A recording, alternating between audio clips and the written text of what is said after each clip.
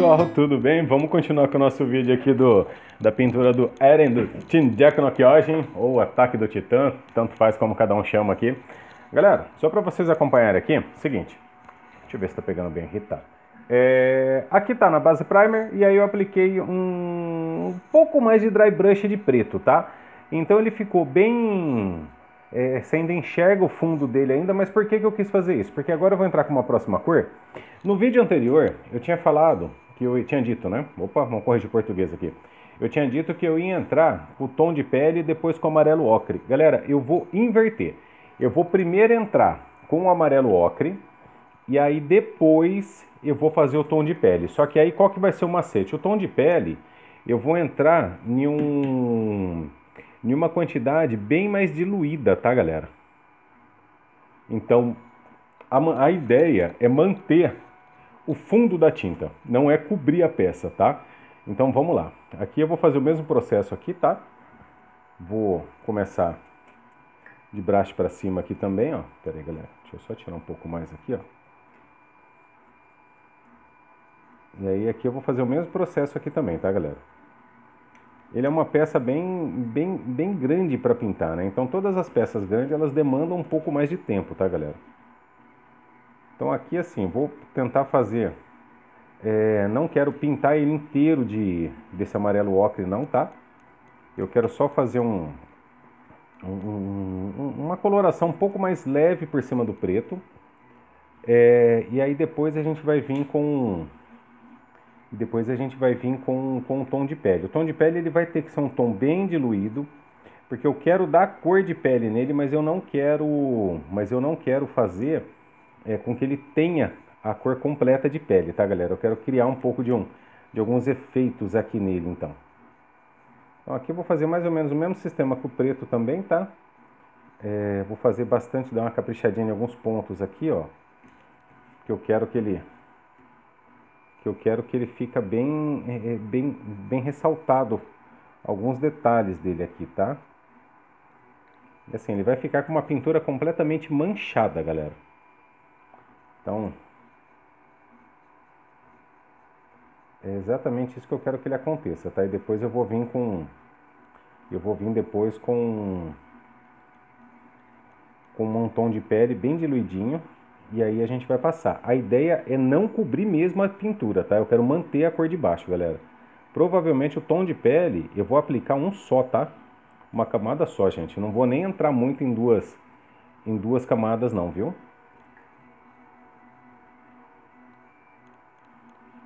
E aí, se der jogo, eu vou fazer o wash. Senão, se eu ver que vai ficar que não vai ficar legal, aí eu não faço o wash não, tá, galera? Eu vou Vou esperar primeiro terminar a peça aqui para ver como é que ela vai, como é que ela vai ficar. Então, estou fazendo aqui a primeiro um, um pré-teste aqui para a gente ver como é que como é que ele vai ficar. E aí depois a gente entra com com outras pinturas também.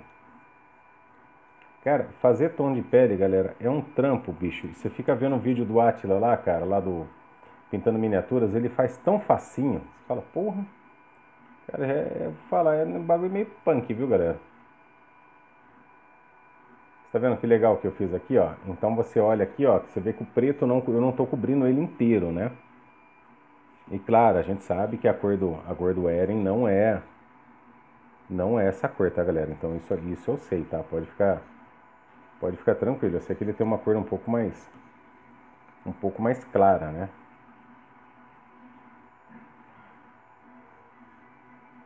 E só lembrando aqui que eu estou usando o pincel de dry brush mesmo, tá galera?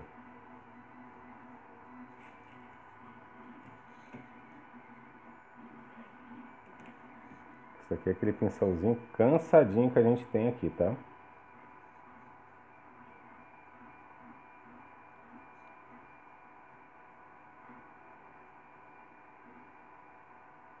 Bacana que ele seca bem rápido, né? Só que para fazer a outra tinta, como eu vou eu vou usar ela um pouco mais úmida.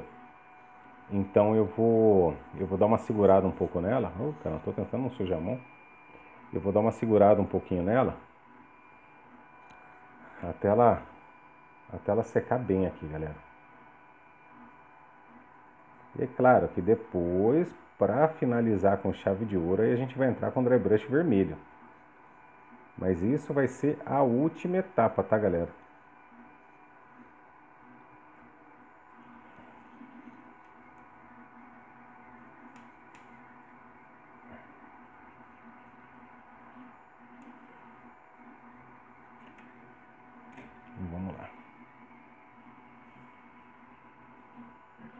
Essa peça aqui foi o que eu falei para vocês no outro vídeo, galera. Ela é uma peça muito, muito gostosa de se pintar, porque ela não tem muito detalhe. Salvo a boca e o cabelo ali que eu vou, que eu preciso fazer os detalhes nele. O resto, galera, sem, sem, não tem, não tem mais muito o que fazer não. É uma pintura bem, é uma pintura bem simples de se fazer, cara. Já o titã blindado eu vou sofrer um pouco, tá, galera? Esse eu sei que vai dar um pouquinho mais de trabalho. Vou pegar mais um pouquinho de tinta aqui, ó. Aqui para quem tá vendo agora o vídeo aí, esse aqui é o amarelo ocre, tá? Praticamente um mostarda, né? Mas eu não posso falar que é mostarda. É amarelo ocre. Pera aí, galera, só. Fazer aqui, ó. Ele só é uma peça um pouco trabalhosa para pintar por conta do tamanho dele, galera.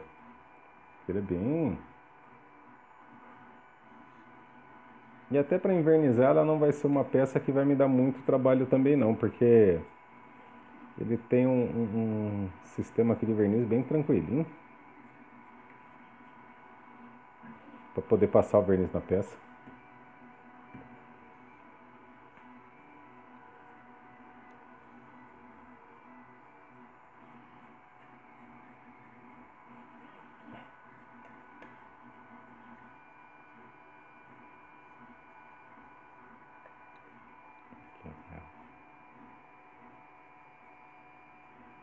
Aqui eu estou esfregando mesmo um pincel na peça, tá galera? Porque eu quero que ele fique cheio de imperfeições, tá?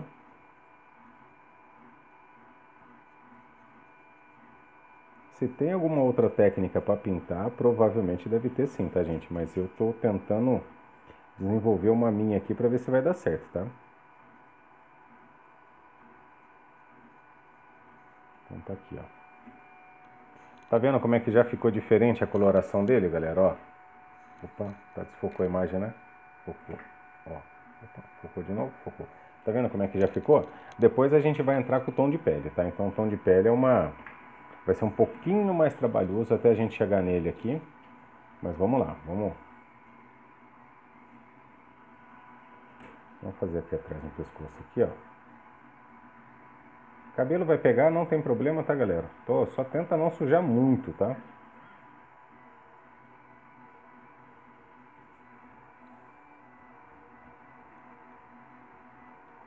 E provavelmente acho que eu vou fazer o wash mesmo, viu gente? Não vai ter, não vai ter jeito não, não vou escapar do wash não, viu? O wash é um dry brush de preto, galera. Mas aí a gente vê depois, a hora aqui.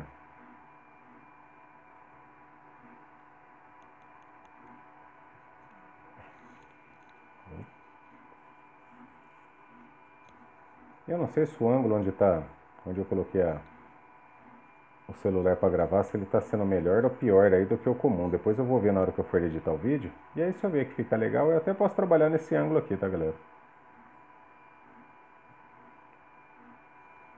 Mas a ideia, gente, é que fique exatamente assim, ó, cheio de imperfeições mesmo a pintura, tá?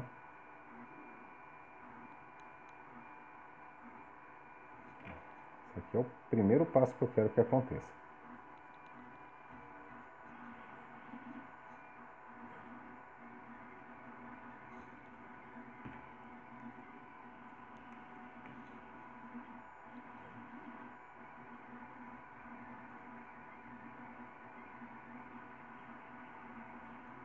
Já para fazer a pintura do tom de pele dele, o tom de pele, galera, eu tô pensando em usar o outro pincel mesmo, tá? O pincel, o bonzinho para pintura mesmo que eu uso, que eu costumo usar ele aqui, tá?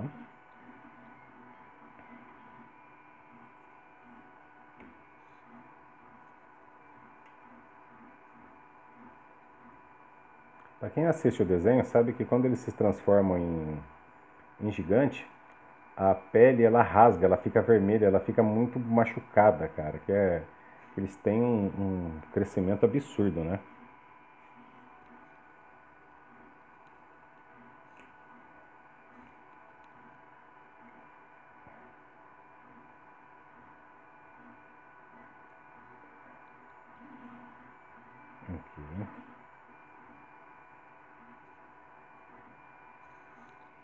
Um personagem que eu fiz, que eu usei bastante essa uma técnica bem parecida, foi com o Nemesis do Resident Evil, galera. Não chegou tanto nesse ponto, o Nemesis foi um outro sistema diferente, mas eu usei bastante esse amarelo ocre aqui. Mas o Nemesis eu fiz com, com preto, vermelho, branco. Ele teve um, algumas coisinhas a mais que eu fiz nele, porque ele está com uma pele necrosada, né? E no caso do Eren, o não, o Eren não tem a pele necrosada, tá galera? Então não tem, não tem nexo eu fazer ele com uma pele necrosada, né? Meio sem sentido, né?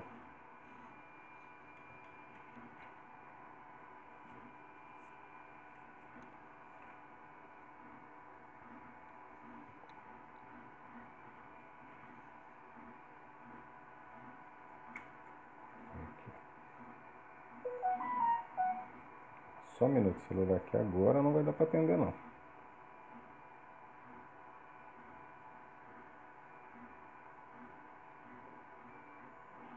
É que eu vou falar pra vocês que eu tô muito tentado em enfiar essa peça debaixo d'água e deixar escorrendo pra ver o que que dá, viu galera? Mas ainda, ainda não é a hora.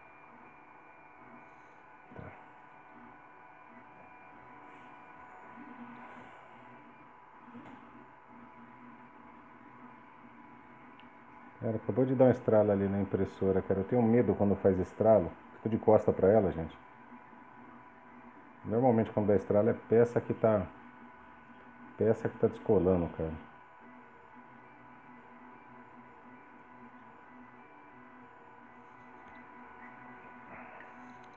E só pra quem sabe, cara, pra quem...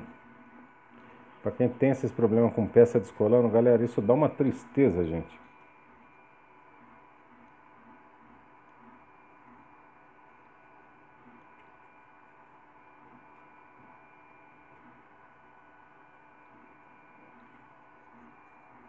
Quase pronto já, gente.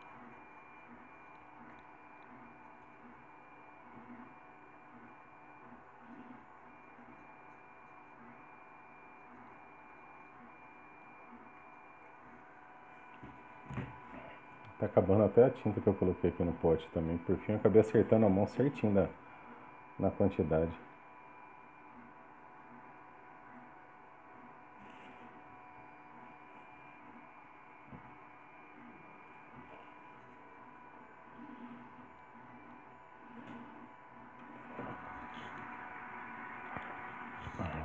Por enquanto não descolou não, né?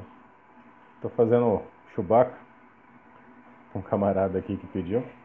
Isso é um irmão, irmãozão da, da, época da, da época da escola, galera, da faculdade. Dizem que a amizade de faculdade não dura. tá bom.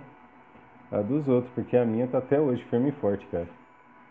Bom, galera, deixa eu só caprichar agora aqui no, no rosto dele aqui. Cara, já tem muito tempo que eu me formei. Vou ter que colocar mais um pouquinho de tinta, gente. Já tem muito tempo que eu me formei. Até hoje minhas amizades de faculdade duram. Não todas. Mas eu tenho uns poucos. Porque esses daí duram e duram muito, galera. E o mais engraçado, né, cara? Exatamente os amigos que não, que não chamava para ir para bar, né? Que os que chamam para ir para bar aqui, quer que se dane a tua, a tua, a tua, a tua escola, não tá nem aí, né? Tuas notas, etc e tal, né? Agora os caras que ficam lá, que dá junto, não que a gente nunca tenha ido pro bar, não. Já fomos assim, galera. Falar que você faz faculdade, você não vai pro bar, pô. Mas é a galera que tem foco, né? É a galera que não quer. Que sabe quanto custa, cara, pagar uma faculdade, que não é o pai que paga, não, meu. Pô, falar pra vocês, na época que eu fiz era caro, galera. Caro. eu penso até em fazer outra, mas hoje a faculdade está muito da hora para fazer, porque ela está bem mais em conta, né? Então, para quem está ouvindo o vídeo aí, cara, está na idade de faculdade, molecada, faça, cara, faça.